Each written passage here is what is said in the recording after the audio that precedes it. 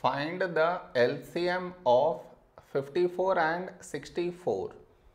To find the LCM, first we should frame it in this way.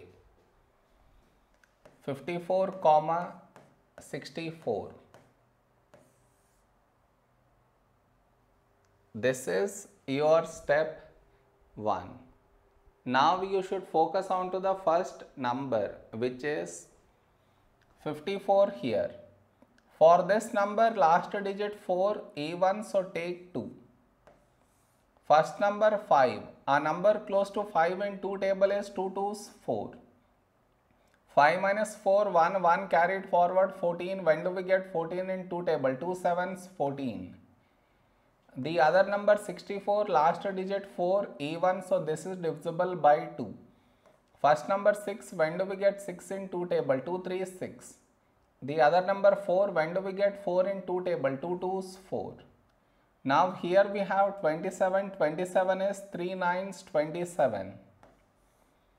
The other number 32 not divisible by 3 so we write it down as it is. Now here we have 9 9 is 3 3s 9. The other number 32 not divisible by 3 so we write it down as it is. Now here we have 3, 3 is a prime number so 3 ones 3. The other number 32 not divisible by 3 so we write it down as it is. Now we got 1 here. So focus on to the other number 32. Last digit 2 even so take 2. First number 3, a number close to 3 in 2 table is 2 ones 2. 3 minus 2, 1, 1 carried forward 12. When do we get 12 in 2 table? 2, 6, 12. Now here we have 16, 16 is 2 8s, 16. Now we have 8, 8 is 2 4s, 8. Now we have 4, 4 is 2 2s, 4. Now we have 2, 2 is a prime number, so 2 ones 2. So we got 1 in both the places.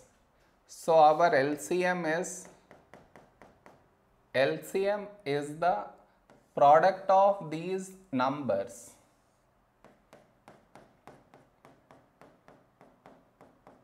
That is 2 into 3 into 3 into 3 how many times do we have 2 here? 1, 2, 3, 4, 5.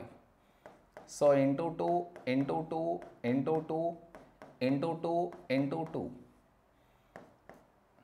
When we multiply these numbers, we get 1728 is our LCM.